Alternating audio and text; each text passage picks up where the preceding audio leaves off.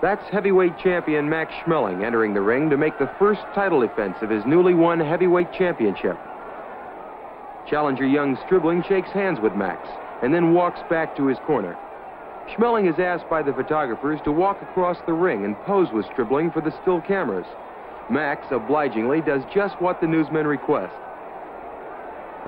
Schmeling shakes hands with light heavyweight champion Tommy Loughran as the photographers snap away.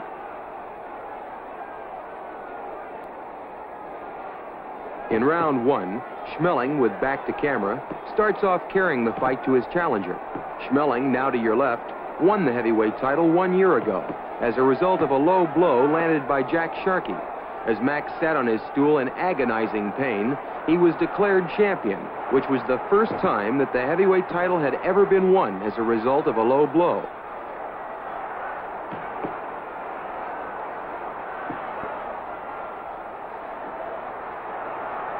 Even though Max is the heavyweight champion of the world, Stribling, now to your left, has had a great deal more professional experience than the champion. Stribling turned professional when he was only 17 years old back in 1921. His real name is William Lawrence Stribling, but he was very quickly nicknamed Young and has been fighting under that nickname ever since.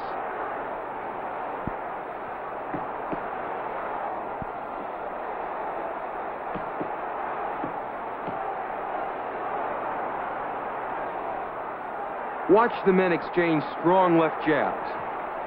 Schmeling is looking to shoot in his straight right, the punch which he used to score practically all of his 30 KOs. Schmeling has taken round one by being the aggressor and landing the more effective punches. Round two was scored evenly by the judges, but Stribling evened things up in round three by scoring well to the body and winning the round clearly. We're in round four of this scheduled 15-round heavyweight championship fight and both Schmeling and Stribling are looking to send in those big right hands.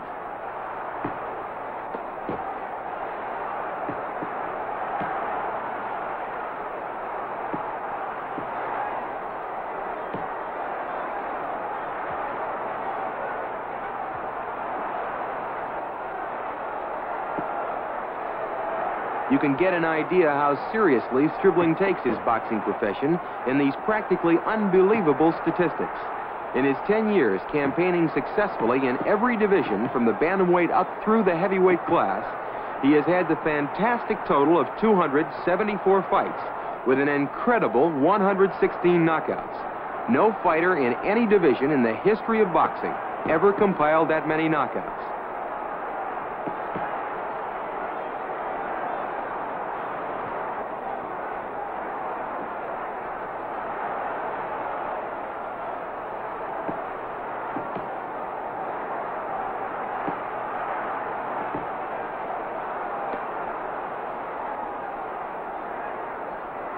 You'll see Max snap in two lefts and follow with a right.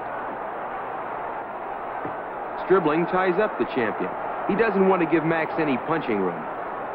You can place Stribling's 224 fights in proper perspective when you realize that the champion, Max Schmeling, who has been fighting eight years in the heavyweight division, has had only 52 professional fights. Stribling has had almost six times that many contests, yet there is only eight months difference in their respective ages. Here at the end of round four, Schmeling again is given the edge by all three officials. Max pressed the fight and landed the harder punches. Stribling, sitting in his corner, is told he has to be more aggressive and has to use his right hand. Here in round nine, it's still anybody's fight. Schmeling has a slight edge, which seems to justify his being the 3 to 2 favorite. Stribling shoots in a punishing right to the body and a left to the jaw. Those were the best punches of the fight thus far by Stribling.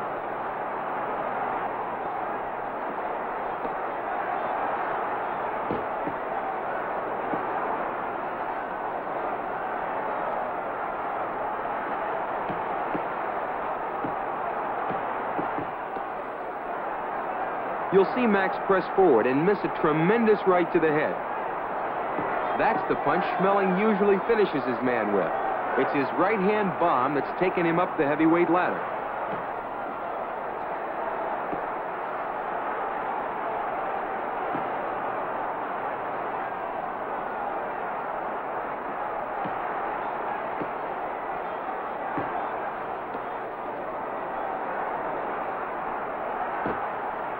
While Max is aware of Stribling's sensational knockout record, he too has flattened the finest heavyweights in the division with that devastating straight right hand. Everyone who has been in the ring with Schmeling knows that behind that medium speed left can come a pulverizing right to the jaw that has ended many a fight merely 10 seconds after it landed.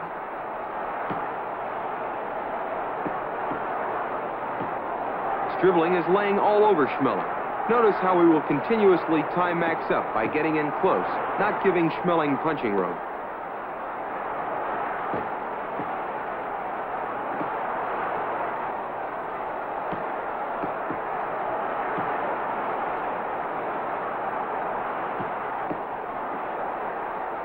All officials scored round nine for Schmeling.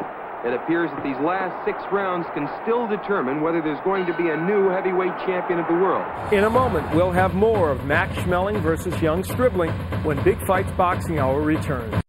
We now return to Big Fights Boxing Hour on ESPN Classic. Stribling came back to take round 10 by a very slight margin, and here in round 11, it's still anybody's fight.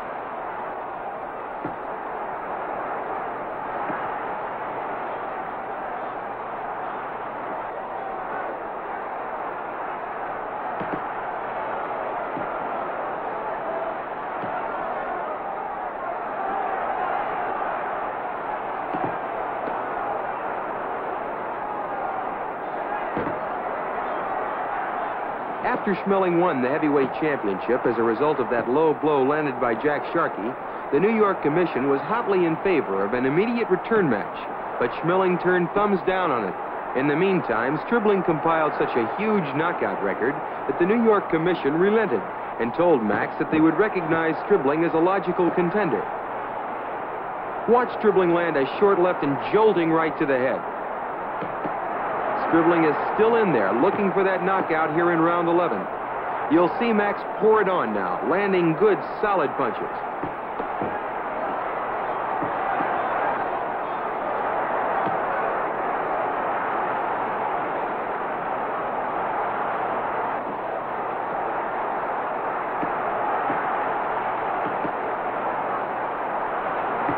Round 11 was Schmeling's, and Max now is leading on points.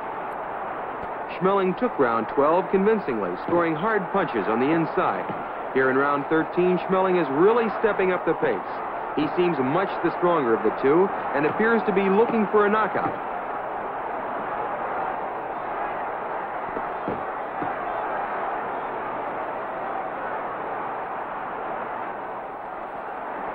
Schmeling is pursuing Stribling all over the ring.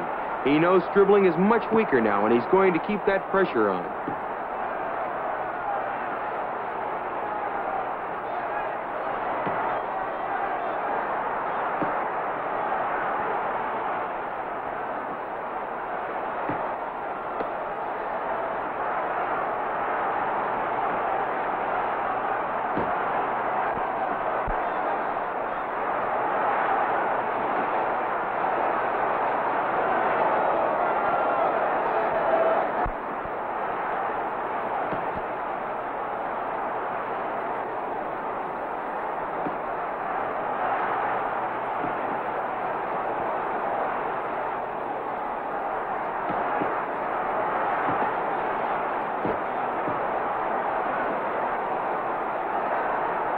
One of Schmeling's attributes is Max's ability to take a punch.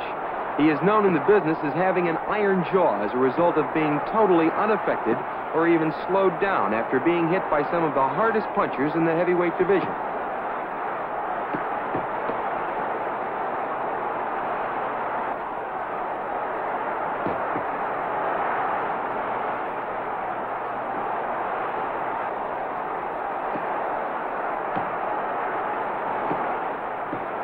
It's all Schmeling here in round 13.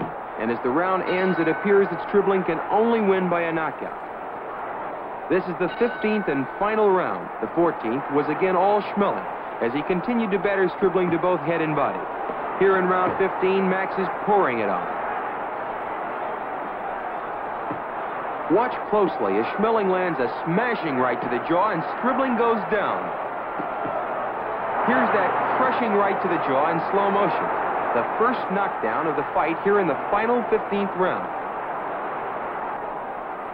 As Schmeling turns to go to a neutral corner, referee George Blake steps in to pick up the count. As Stribling lies on the floor trying to gather himself, the referee's count reaches nine as Stribling drags himself off the canvas. But Blake decides that Stribling has had enough and stops the fight. Schmeling is deliriously happy and actually carries Stribling to his corner. With just 25 seconds left in this championship fight, Schmeling scores a sudden and dramatic knockout victory over young Stribling. Max Schmeling successfully defends his world's heavyweight championship on July 3rd, 1931. Stribling looked good for the first five rounds against Schmeling, but he was simply outclassed by the champion. Schmeling's first title defense was a success, and he did it with just 15 seconds to spare in that last round. Stribling, who had set a career record of 125 knockouts, later broken by Archie Moore, might have been guilty of overtraining. That was said to be the cause of his loss to Paul Berlenbach in their lightweight title fight back in 1926.